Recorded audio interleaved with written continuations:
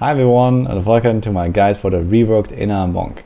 This set has been completely changed and is now based on Mystic Allies as your main source of damage and it has been thrown straight into S tier as one of the best builds in the game.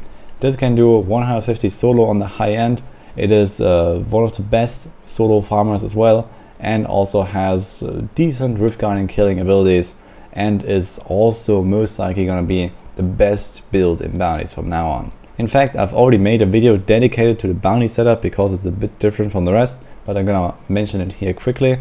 And here I mostly wanna talk about the solo pushing and the different speed variations. What you need to know is there are two different variations possible. One is with the water allies and one with the fire allies and they work quite a bit differently.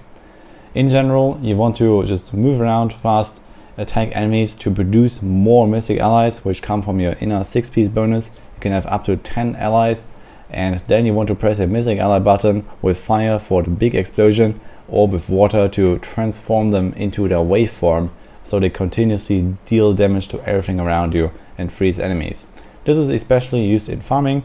In pushing it is definitely the way to go with fire because you have this big burst potential where potentially one-shot elite packs even on the higher GR tiers. The area of effect is not very large so a lot of damage is concentrated in a very small area and especially when there's only one target you have all your mystic allies running into them and completely annihilating stuff. Even so you can also farm with the fire allies at a pretty decent pace so if you have a lot of cooldown reduction in something like Messerschmidt's Reaver and maybe even Ingeom, you can definitely uh, use your fire allies often enough that uh, the high cooldown won't really matter. So in speed GRs, they kind of even out with probably a slight advantage of fire when you do it very well and water is just really easy, very smooth, you don't have to do much or worry about much and you get almost the same results. So let's jump into the setup here. In Season 24 you can get ethereal items which actually changes the setup quite significantly.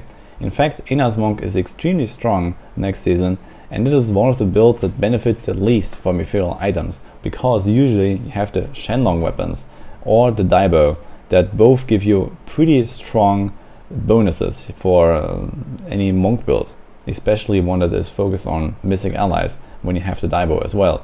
So this is typically how you do non-season farming, but the ethereals are stronger, but simply not by very much. So after season 24 ends, this build will be probably one of the top dogs in the entire game. First and foremost in your setup you're gonna have the Inna set which gives you 30,000% mystic ally damage and a bunch of other small bonuses like you get all base mantras and they're all doubled and also the mystic ally effects and they're all doubled as well. So this is pretty neat, gives you some extra life, some extra life regen, it gets a bit of like additive damage, also a bit of all res and these kind of things. So you don't really have to worry much about it. You are not really super tanky, but you are definitely fine most of the time and it's not like a squishy setup anyway. The two key items that work with this build are the reworked Crudest Boots, which gives you 200% damage increase for Mystic allies and allows them to attack with their active forms longer. Because your Mystic allies last 15 seconds, so they essentially stay in the waveform the entire time. You can actually see here with the water allies that some of them are not transformed into a wave. This is because they time out while being in a wave and then you summon new ones and you have to press Mystic Allies again. So you have to be aware of this in that setup that your Mystic Allies can actually just AFK sometimes and you don't want to just mash your Mystic Ally button all the time. You just want to make sure that whenever there's few of them, you press the button again to make them all transform. The second core item here is the Bindings of the Lesser Gods, which again gives you a 200% damage bonus and a times 5 of that for your fire allies. So they do massive fire explosions and it makes it so that they, the two setups kind of even out in farming, but fire definitely wins in pushing because of this huge burst damage.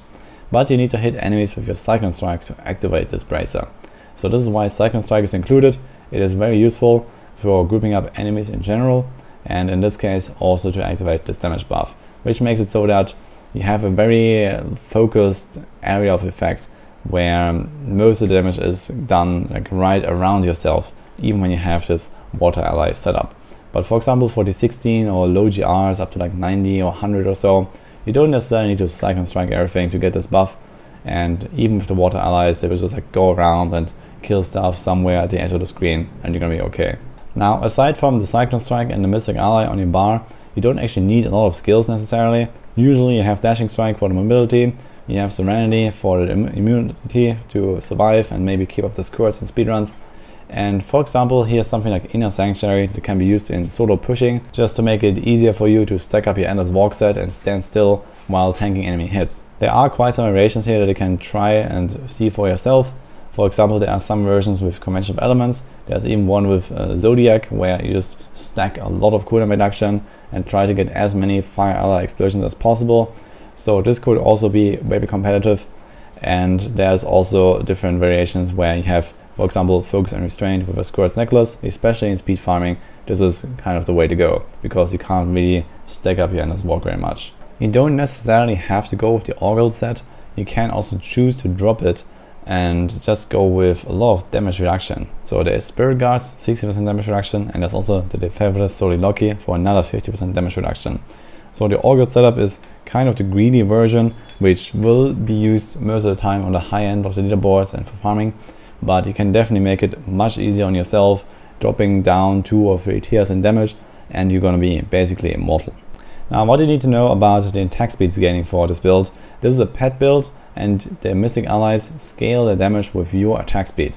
This is also the reason why you have Flying Dragon in the setup. Essentially, you want to keep this up as much as possible by attacking really quickly. In speedruns, you can also go without it with uh, Echoing Fury, for example, and uh, maybe an Geom in your offhand. So this is also a very nice way to make it smooth and give you extra damage. But in general, attack speed is a pretty good start. So is Mystic Ally damage and also area damage for the Water Ally only. The fire ally does not work with area damage, so something to be careful about.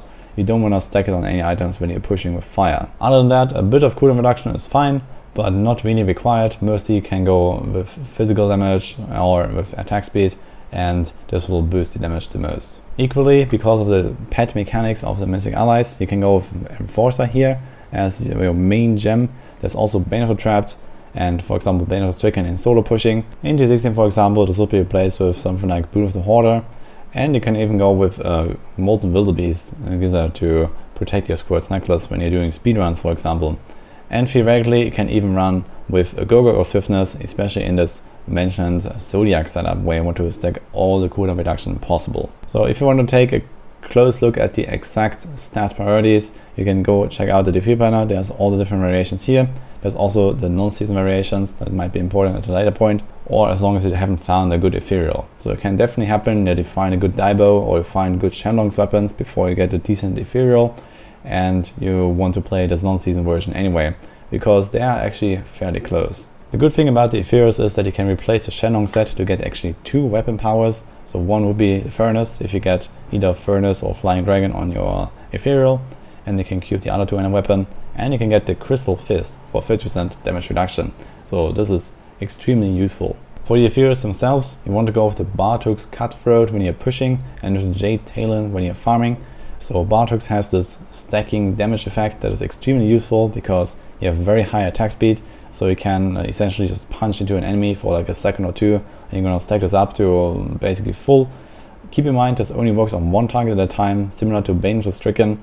So you have to switch targets all the time to actually stack it up on the right targets. So especially when you engage like a blue pack or yellow or on the boss, uh, do you want to make sure that you keep attacking into this a little bit as much as possible before you do your fire ally explosion.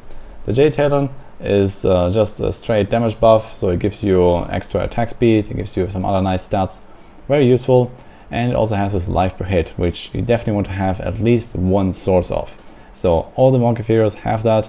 If you don't have the Ethereal, make sure that you get at least one weapon or even the bracers. For your passives, you usually want to go with Beacon of Ytar, lots of cooldown reduction. There's also Seize Initiative, which scales your damage from your Mystic allies, so this is very useful. There's also something like Relentless Assault, very nice for the water allies especially because they proc it themselves with their own attacks and it's always going to be up and this is a multiplicative bonus. And there's for example also something like Unity. Additive damage buffs are not really that crazy in the setup because you have quite a lot from your own buffs, but um, it is definitely useful, but you can definitely go with some defensive passives there as well. There's Harmony, there's Near Death Experience, there's even Sixth Sense if you want, or Resolve, so you can go quite tanky. Lastly, a quick look at the bounty setup. I already have a guide specifically for this setup, so I'm just gonna highlight it quickly. You have the Ring of Royal Grandeur to combine the Inna 6 piece with the Raiment 4 piece. This allows you to infinitely dash around as long as you have enough spirit. So you try to stack up as much as cooldown and resource cost reduction as possible. This is T16, you don't really need a lot of damage stats, and you're just gonna blast away through the bounties with the water allies. It's a very cool, very simple setup, extremely mobile, and it doesn't need any gear swapping, like for example the Wave of Light Monk or the Multishot Demon Hunter. So this is very nice, and it will be a very smooth farming experience, although it is a little bit squishy, so something to be aware about. This is about it for the setups. For the gameplay, I have mentioned the Water Allies is very simple. I wouldn't really recommend pushing with Water Ally, it is simply not really that strong despite working with area damage. It's mostly a farming setup and fire is the way to go. So here you want to make sure that you do a Cyclone Strike before your fire COE and then press Mystic Ally to go boom. You have to be a bit mindful about the positioning of your fire allies. So you want to maybe dash around a little bit to make them teleport to you because you uh, want to make sure that they hit the right targets and not something outside of the pole. Other than that, you want to stand still as much as possible before you boom. So before fire cycle on your COE, you want to maybe stand still, stack up your Way of the Hundred Fist and Simulation for the extra additive damage buff, and then also use the Inner Sanctuary so that you can stand still and not die. Serenity can also be used whenever needed. For example, I like to use it at the end of the Inner Sanctuary, so I try to tank stuff a little bit, and then as the Endless Walk goes to full damage bonus instead of damage reduction, I press Serenity so that I have it active for most of the time in the fire COE, and I'm completely protected from all damage. And that's about it, so you rinse and repeat. Since this is not an area damage build, you don't really have to make these super large pulls. In fact, it's actually sometimes not that great to have these large pulls because of the Mystic Ally AI, but it has been improved a bit and it should not really be such a big issue anymore. And with this, we conclude the guide. So I hope you enjoyed this. I hope you're gonna have a lot of fun with the reworked Inna Monk.